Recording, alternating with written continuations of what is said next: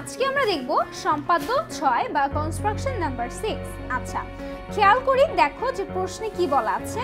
বলা আছে একটি নির্দিষ্ট রেখাংশের সমান ব্যাসার্ধ বিশিষ্ট একটি বৃত্ত অঙ্কন করতে হবে, যা দুইটা নির্দিষ্ট বিন্দু দিয়ে যায়। আচ্ছা প্রথমে দেখো আমার এখানে রেখাংশটা কি? রেখাংশটা হচ্ছে ফিক্স অর্থাৎ নির্দিষ্ট রেখাংশ। সো প্রথমে আমি ধরি যে আমার নির্দিষ্ট রেখাংশটা হচ্ছে খুব ছোট একটা ধরি, যেহেতু এটা ব্যাসার্ধ ধরে করতে হবে। সো আমি ধরলাম যে আমার ওই নির্দিষ্ট রেখাংশটা হচ্ছে এতটুকু। ঠিক আছে? এতটুকু হচ্ছে আমার নির্দিষ্ট রেখাংশ, যেটাকে আমি কি করলাম? আর দিয়ে লিখলাম। কেননা এটা আমি যে বৃত্তটা অঙ্কন করব, সেই বৃত্তের ব্যাসার্ধের সমান হবে। আচ্ছা এবং বলা হয়েছে ওই বৃত্তটা দুইটা নির্দিষ্ট বিন্দু দিয়ে যাবে।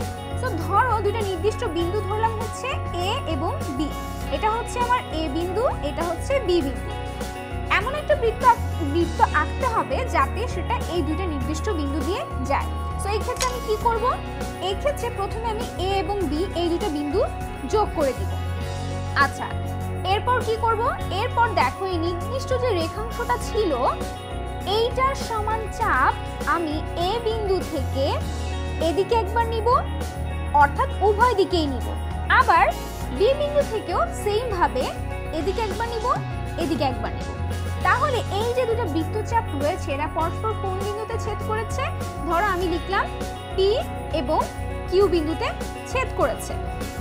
এবার আমি যেটা করব পি এ এবং পি বি এর সমান ব্যাসার্ধ নিয়ে দুইটা বৃত্ত অঙ্কন করব। কি করব প্রথমে? পি এ তাই না? অর্থাৎ এই পি বিন্দুকে কেন্দ্র করে আমি ওই সমান ব্যাসার্ধ নিয়ে একটা বৃত্ত অঙ্কন করব। দেখো, এটা কিন্তু আমার বাইরে চলে গিয়েছে না, প্রশ্নের ভিতরে চলে গিয়েছে। জিনিসটা কিন্তু এইভাবেই করতে হবে। অনুরূপভাবে এই বি কিউ বিন্দুকে কেন্দ্র করে আমি কি করব? এ অথবা বি এর সমান ব্যাসার্ধ নিয়ে আরেকটা বৃত্ত অঙ্কন করব। তাহলে আমার মোট কয়টা বৃত্ত হলো বলো তো? দুইটা বৃত্ত হলো। তাহলে এই দুইটা বৃত্ত কি করল? এই দুইটা বৃত্তের যে ব্যাসার্ধ রয়েছে, অর্থাৎ এই যে অংশটুকু ব্যাসার্ধ, পি এ এই বৃত্তটার জন্য পি এ এবং পি বি। এই দুটি কি আসলে আমার ব্যাসার্ধ, তাই না? এটা কার সমান হচ্ছে? এই নির্দিষ্ট রেখাংশ আর এর সমান হচ্ছে। এবং এই যে দুইটা বৃত্ত রয়েছে, এই দুইটা বৃত্ত এ এবং বি, এই দুইটা নির্দিষ্ট বিন্দু দিয়ে গিয়েছে। সেম ভাবে এই বৃত্তের ক্ষেত্রে, অর্থাৎ কিউ কেন্দ্র বিশিষ্ট এই বৃত্তের ব্যাসার্ধ হচ্ছে কিউ এ কিউ বি যেটা আসলে কার সমান বলতো? যেটা হচ্ছে আমার নির্দিষ্ট রেখাংশ আর এর সমান আর এর সমান। তো এইভাবে করে আমাদের যদি এই রকম প্রশ্ন থাকে, আমরা এভাবে করে একটা বৃত্ত অঙ্কন করতে পারব।